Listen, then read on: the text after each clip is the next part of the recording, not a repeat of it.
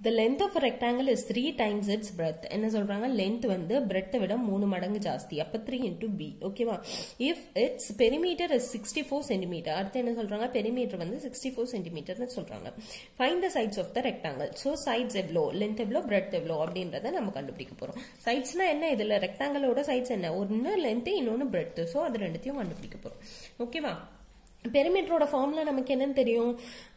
Perimeter of rectangle is two into l plus b so two into எல்லோட value என்ன கொடுத்துருக்காங்க? Three times of பின்னு கொடுத்துருக்காங்க. So three b plus b அப்போ என்னவா ஆகும் இது? Two into three b plus b எவ்வளோ ஃபோர் பி த்ரீ பிளஸ் இங்கே எதுவுமே இல்லைன்னா ஒன் பின்னு அர்த்தம். ஓகேவா three b plus one b வந்து four b equals to sixty four ரெண்டுத்தையும் மல்டிப்ளை பண்ணுங்க. டூ இன்டூ ஃபோர் எவ்வளோ? Eight b equals to sixty four b is equals to எயிட்டை வந்து இந்த பக்கம் கொண்டு வந்துருங்க. Sixty four divided by eight equals to one times eight times answer வந்து eight centimeter breadth eight centimeter கிடைச்சிருச்சு. அப்போ லென்த் எவ்வளோ?